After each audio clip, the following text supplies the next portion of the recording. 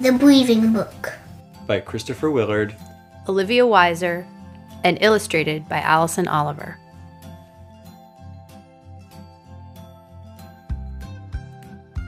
Welcome to the Breathing Book. When you learn to understand and use your breath, it can do amazing things. It can reset your body when it feels stressed or out of control. It can help you focus your thoughts. It can help you relax. Your breath is always with you. Take a moment and see how your breath feels right now. This book will help you get to know your breath better and learn how to use it to feel happier and healthier. Start by sitting comfortably. Hold the book gently in your lap. How does it feel? Warm or cold? Smooth or rough? Light or heavy? Run your fingers over the cover. Feel the edges and corners of your book. Listen to the sounds as you carefully turn the pages. These squiggly lines are breathing waves. Trace these lines with your finger. Breathe in as you go up and breathe out as you go down. How does your breath feel as you trace the different lines? How does your body feel? Great. Now turn the page. Okay, now lie down on your back and rest the book on your belly. Are you comfortable?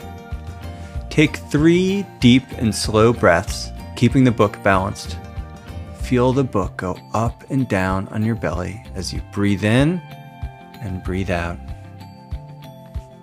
Great job! Now we're going to get a page of the book to stand up straight. Take a page between your finger and thumb and hold it so it's standing up straight with the other pages lying flat on each side. Now let go and gently blow on the page to keep it from falling down.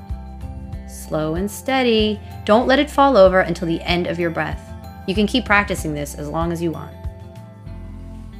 Trace one labyrinth all the way from the beginning to the end with one finger. Breathe in while you do. Then trace it from the end back to the beginning. Breathe out while you do. Now try tracing this labyrinth using a finger on your other hand. Can you do it silently? Can you do it while holding your breath? Can you trace both labyrinths at the same time using both hands? Okay, now turn to the person reading this book with you. If you're reading it by yourself, imagine reading it with a friend. Can you see or hear them breathing? Try to match your breath with theirs so that you're breathing in and out together. Place your left hand flat on top of the outline. With your right pointer finger, trace around your left hand. Breathe in as you trace your finger up and out as you trace your finger down until you've traced your whole hand. Now try the same thing, switching hands. Now we will tie your breath to wishes. These are kind wishes, okay? Breathe in as you think of someone you want to send a wish to. Think of a wish. Breathe out as you send them the wish. Make a kind wish for yourself. Make a kind wish for a friend. Make a kind wish for someone who takes care of you. This time, make a kind wish for your community.